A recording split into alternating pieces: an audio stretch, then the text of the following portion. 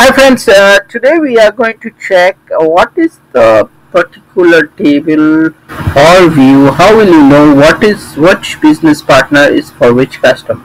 So this is related with S4 HANA. So what I'm going to do, this is the name, you have to go and you just go to SE16, SE16 and you give this thing, I book our customer, okay and here you will get the relationship between a customer and the business partner okay?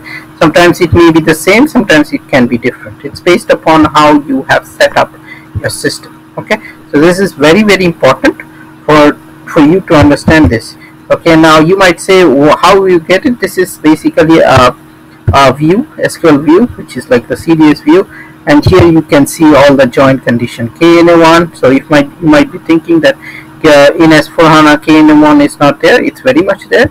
Okay it stores all the information and then you have this table and then you have this new table BUT000 so you can see the relationship between them but most important just if you know this this name uh, this uh, view so when you do a select star or if you're running in a report or you're building a function module or something use this view as your selection criteria and then it will help. Or if you have SE16 or someone from the business wants to see what is the relationship between a customer and the business partner you can easily get it from here.